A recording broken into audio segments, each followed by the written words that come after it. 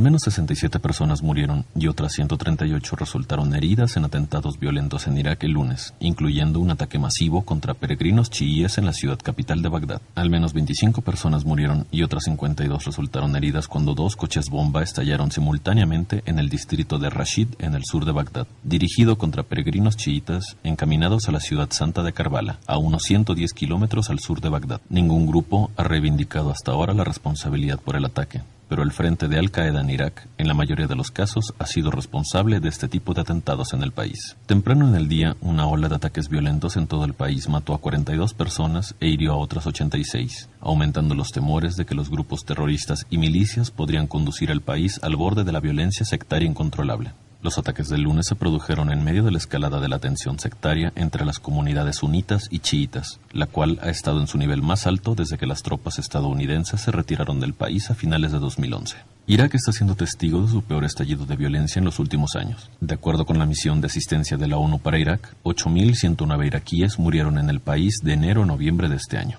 Corresponsales de Xinhua reportan desde Bagdad, Irak.